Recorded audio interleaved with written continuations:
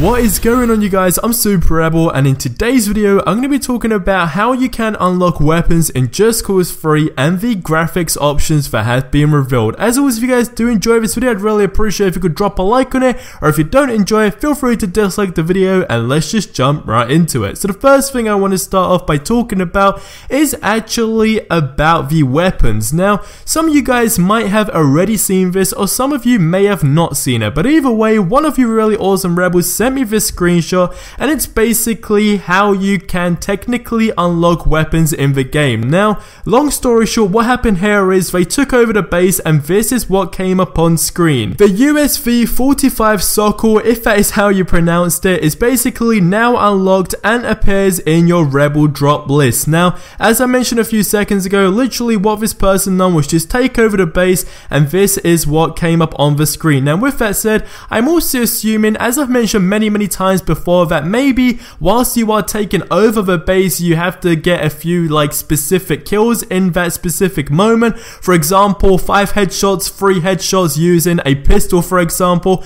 or something along those lines in order to unlock this weapon. But either way, this is one way how to go about getting new weapons in the game, which I thought was pretty cool and I'm waiting to share that with you guys. Now, the next thing that has been revealed is the graphics options for this game, and I didn't really see this coming, but it has been revealed, and it is actually pretty awesome. As you guys can see, there is a list, and there's a load of different options. I mean, you got resolution, you got water detail. At this moment, it is very high, but I guess if you wanted to make the water look like crap, you can technically do that. Although, I don't really know why you would want to make the water look crap, but that's not the point. The point is you can still make it look crap, so that's kind of cool. Below that, you got another little option, the LOD factor, then you got shadow quality, motion blur, edge fade, and just a ton of different options. And I honestly thought this was great. It really does give you that option to customize the game to your own standard, if that makes sense. So like your own comfort in playing the game.